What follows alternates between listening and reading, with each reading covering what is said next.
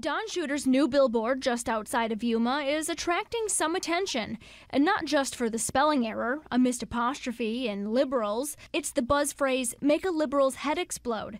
It's become a bit of a social media fad used by conservatives, essentially meaning doing something that would offend Democrats. Shooter was booted from his seat with the Arizona House of Representatives in February of this year after several people accused him of sexual harassment, something he still denies. I never sexually harassed anyone. I was I was guilty of annoying some people, uh, and anybody who knows you will tell you that that's certainly a possibility. Shooter, who has in the past hammed it up for our cameras, opted to stay quiet on this matter, declining to comment on his billboard. But in a recent interview, he said this to our news partners at KYMA in Yuma. Liberals offend me every day.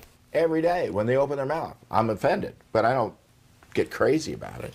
Michelle Harris is running unopposed on the Democratic ticket in the LD 13 primaries.